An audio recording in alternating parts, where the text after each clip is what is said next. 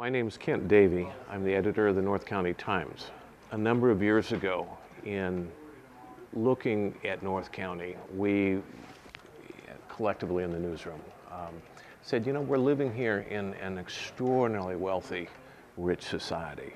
Yet, if we walk through Grape Day Park or you drive up Escondido Boulevard and Vista, uh, or go to um, one of the parks along the coast, you will see people sleeping on the street, obviously uh, homeless.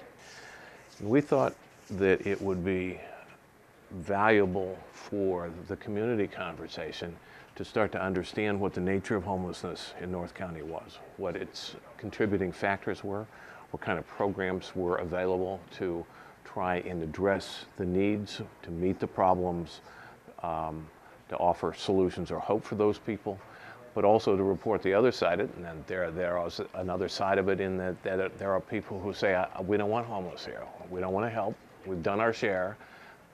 Big fights between cities who say, we already paid our fair share. Somebody else needs to do theirs. So we very deliberately set out to try and make the issue of homelessness a newsworthy uh, event and, and, between, and I don't remember the months anymore, but between say November uh, and May of a, of, of a year, this would have been probably six years ago or so, we probably did 100, 150 stories on homelessness.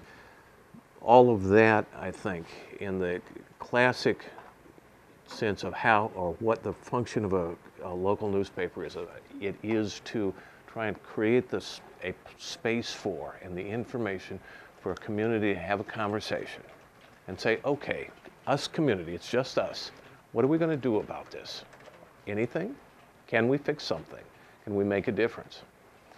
Um, my general view of the world is that people make a difference not in great abstractions, but they make a difference in one-on-one. -on -one. I make it, I can make a difference in one person's life over there and maybe then a second. And there is a multiplier in the kind of the, the, the, language of the movie a few years ago, pay it forward. And, and you pay it forward to three people and those three to nine. And, and uh, the, uh, the power of, of, uh, of a logarithmic scale comes into effect, in which nine becomes nine million without many iterations. Um, I think that's the, the, the genius of uh, what was the driving force behind the original Hawking program uh, to sell newspapers and, and use guys trying to go through drug rehab and Chris starting Solutions for Change where he's saying, saying, look, we can make a difference one family at a time. And if we can move this family from here to there, then their kids won't show up in this spot. And that it will pay forward again. Um, you only need three things to live. I, and this is just me talking. I think you need something to eat, you need a warm place to sleep, and you need somebody to care about you.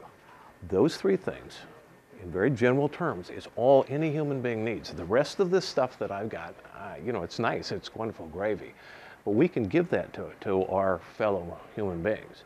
And I think that's what um, efforts like Solutions for Change, or in some sense, a newspaper trying to say, hey, this is the problem. What do you guys want to do about it? We, that's what this is all about, why it's important uh, and does make a difference. I think it crosses across ideological lines, it crosses across class lines. Um, and I have, I didn't this last year, but prior to my wife dying, every year we would go volunteer at an interfaith shelter and either cook meals uh, and do the arrangement, or certainly being host, hosts at the shelters. And one of the things that you learn pretty quickly when, you, when, you're, when you're sitting at a table and sharing a meal there and engaged in the conversation is there but for the grace of God go I.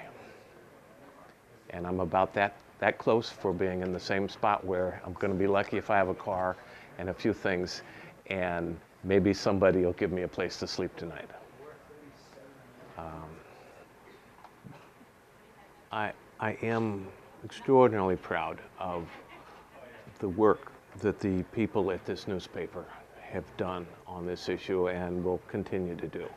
I do believe that their efforts do make a difference, um, and that by sparking someone else's imagination by what they write, by prodding a conscience to do the right thing, um, that, that it goes out and multiplies, that um, it has an effect on the way other people think and, they, and, and act, and ultimately evolves to mean that there are, that we have an influence.